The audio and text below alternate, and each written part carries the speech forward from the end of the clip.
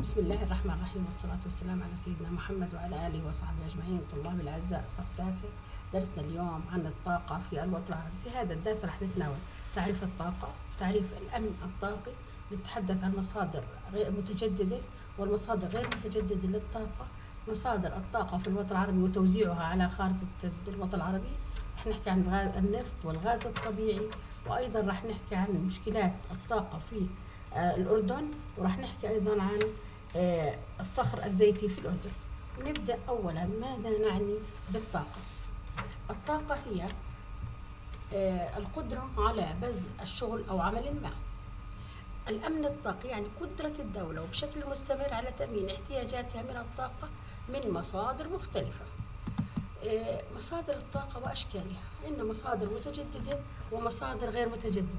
من الأمثلة على الطاقة المتجددة مثل طاقة المياه طاقة الرياح وبقايا النباتات ومخلفات الحيوانات وأيضا عندنا جوف الأرض. آه، غير متجددة مثل الفحم الحجري البترول الغاز الطبيعي الطاقة النووية. ننتقل إلى مصادر الطاقة وأشكال الطاقة. الطاقة الأحفورية مثل النفط والغاز الطبيعي الطبيعي والفحم الحجري. الطاقة الميكانيكية مثل الرياح والمد والجزر.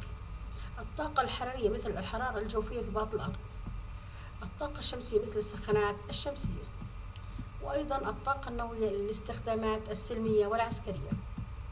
مقارنة بين الطاقة المتجددة والطاقة غير المتجددة من ناحية الديمومة الطاقة المتجددة لا تنفذ تتجدد باستمرار. أما الطاقة المتجددة تستهلك وتنفذ. التأثير في البيئة الطاقة المتجددة لا تلوث البيئة يعني آمنة.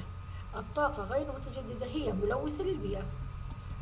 والآن يتسع مع توزيع آه، الدول العربية في ثلاث مجموعات من منظومة الطاقة. اللون الأخضر عندنا الدول آه، ذات مصادر مصدرة للطاقة. اللون النهدي طبعا عندنا آه، هي الدول التي عندها المنتجة والمستوردة للطاقة في عن واحد.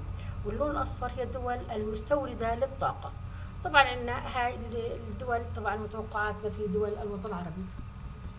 ننتقل إلى مصادر الطاقة في الوطن العربي. أول مصدر عندنا النفط حيث يشكل النفط في الوطن العربي حوالي واحد وتسعين واحد وستين واثنين بعشرة بالمية من الاحتياط النفط العالمي. أيضا آه، وهناك خمس دول عربية هي الأساس السعودية العراق الإمارات الكويت ليبيا. تمتلك أكثر من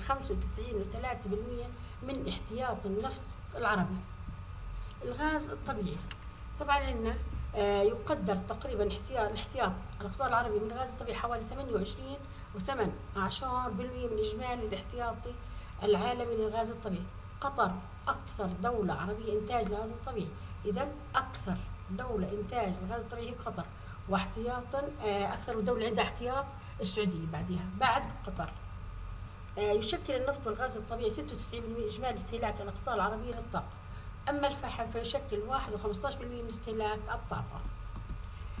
المشكلات التي يعاني منها الأردن في مجال الطاقة. افتقاره إلى مصادر محلية للطاقة. التزايد السكاني الكبير. ارتفاع سعر المشتقات النفطية عالميا. ارتفاع قيمة فاتورة الطاقة داخل الدولة. الحل التوجه نحو ميدان الطاقة البديلة لتحقيق الأمن الطاقي. آه، مصادر الطاقة البديلة في الأردن. الصخر الزيتي.